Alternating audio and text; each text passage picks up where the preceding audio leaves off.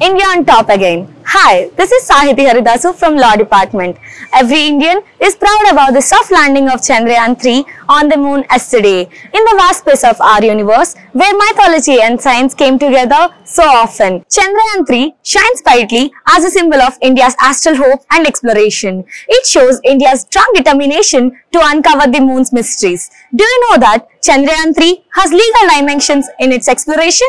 India's active engagement in space and Moon Exploration Alliance with its commitment to as a party on Outer Space Treaty 1967 and signatory to Moon Treaty 1979. This treaty establishes the fundamental principles of outer space activities, notably freedom of exploration and use of outer space by all the nations. This treaty prohibits any nation from claiming the sovereignty over the celestial bodies like Moon. While these nations cannot assert ownership over these bodies, but they can use them for peaceful purposes and also get equitable sharing in all the space-related benefits. This treaty mandates responsible conduct, recurring the nations to prevent contamination over space objects and safeguard the space environment.